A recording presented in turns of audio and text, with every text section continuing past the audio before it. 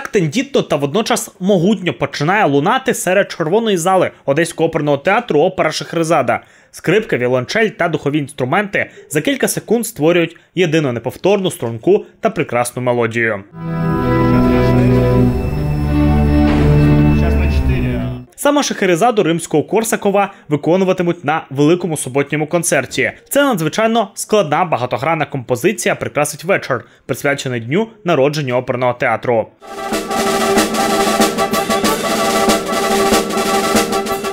Мы э, готовили программу, э, задумывали ее давно, где-то около полугода.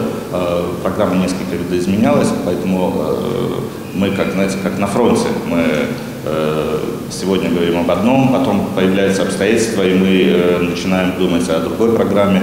Э, Оркестр готовит, именно оркестр готовит э, в течение последних двух недель это произведение.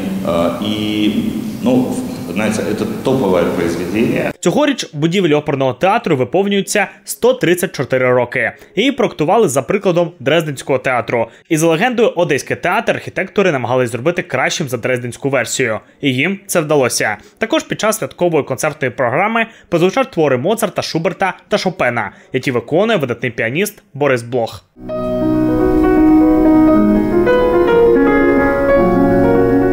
Я граю твори композиторів, які е, сьогодні для нас всіх являються, ну, може, найважливішими у фортепіаній літературі.